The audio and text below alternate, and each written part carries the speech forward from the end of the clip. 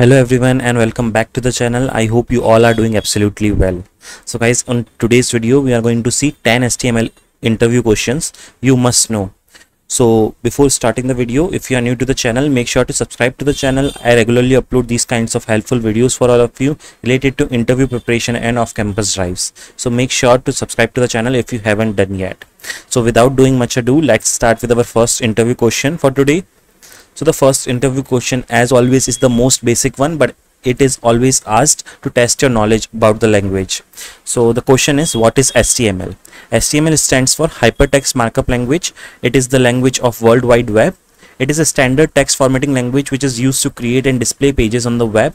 HTML makes the text more interactive and dynamic. It can turn text into images, tables, links. HTML pages are saved by adding the .html or .html in web page name.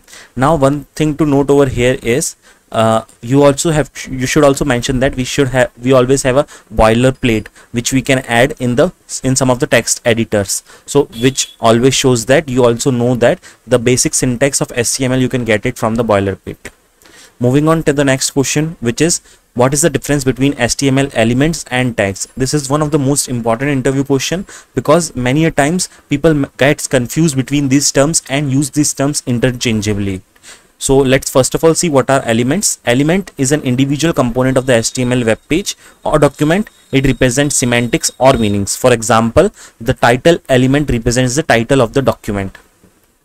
Okay, the next thing is tags. It is the root of the HTML document which is used to specify that document is HTML. For example, the head tag is used to contain all the head element in the HTML file.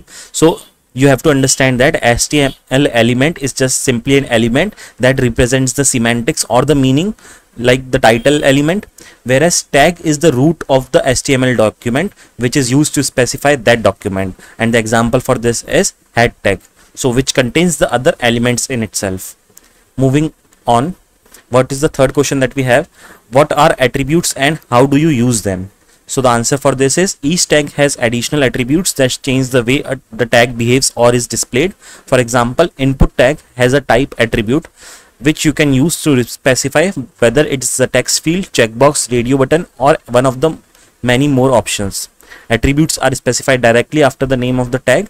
Inside the two angle brackets, they should only up ever appear in opening tags or in self-closing tags but they can never be in closing tags for example so in the input uh, tag over here that we have type equals text is our attribute okay so they it is also mentioned that they should only appear in the opening tags or in self-closing tags. So the tag that we have here is a self-closing tag. So it can either be appear in this way or in an open opening tag where we have uh, input opening tag and input closing tag. So inside the opening tag we can mention the attribute but we can never mention an attribute inside the closing tag. So this is the only attribute that attribute provides additional information about the tag like that what will be the type of this input field like checkbox or text or radio and we have many attributes related to a particular tag. Moving on to the next question what is the difference between a block level element and an inline element? So the answer for this is first of all let's see the block level element. A block level element is drawn as a block that stretches to fill the full width available to it. That is the width of its container and will always start on a new line. Elements are block level by default. So the examples are div image section form nav basically block level elements what they does is they takes the entire space and always starts from the new line whereas inline elements are drawn where they are defined and only takes up the space, space that is absolutely needed. The easiest way to understand how they work is look at how text flows on a page. So examples of inline elements are span, bold, strong, anchor, input. So you must have observed that these are always added inside some additional tags or even if they are added separately they will only take the space that is needed and can and, and it is not fixed that inline elements will always start from a uh, new line. So inline elements will start from wherever we have added it.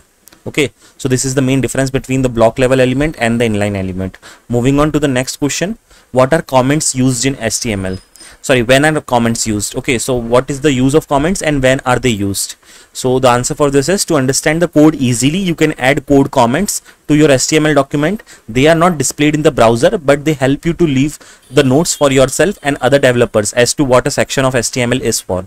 The start of a comment is denoted by this bracket and then uh, this exclamation mark and dash and then the end is marked by this symbol anything in the middle will be completely ignored even if it contains the valid html so you can see how can we add the html uh, comments.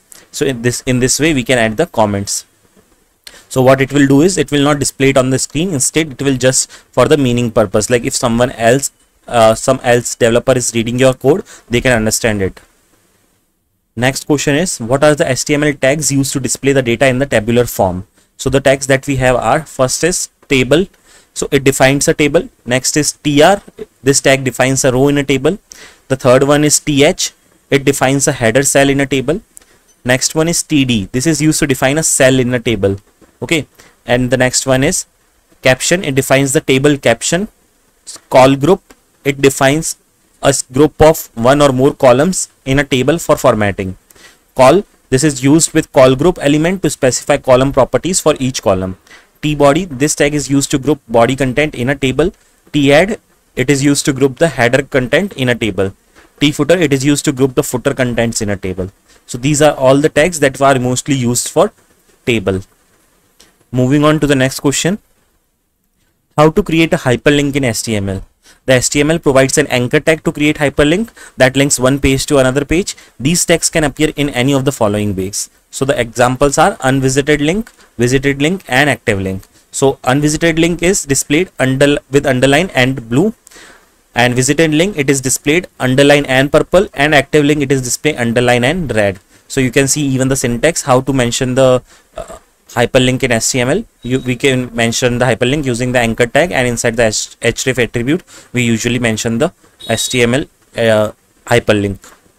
Moving on to the next question, name some common lists that are used when designing a page. So there are many common lists you used for designing a page.